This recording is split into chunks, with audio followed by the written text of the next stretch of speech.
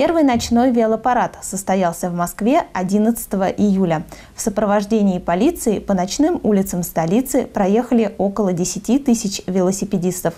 Подробнее в нашем следующем репортаже.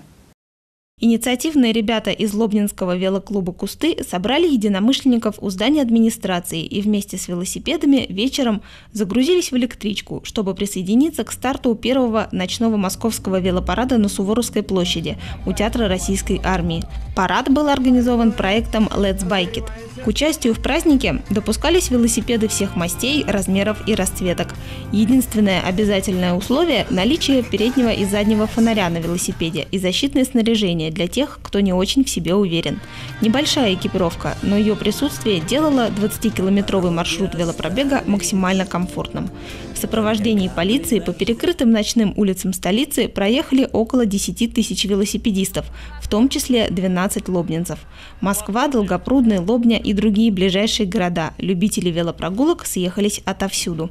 Так как велопарад не был соревнованием, насладиться красотами столицы все участники могли спокойно, в прогулочном темпе, от Суворовской до Болотной площади, где колонна финишировала.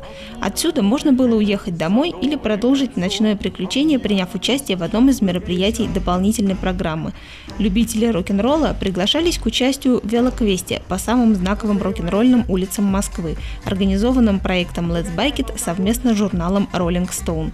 Киноманы могли провести время в бесшумном кинотеатре за просмотром кино в наушниках. Хорошим продолжением прогулки была и экскурсия на теплоходе по Москве-реке. Прогулка удалась. Получился настоящий велопраздник, который в очередной раз доказал, что Москва никогда не спит.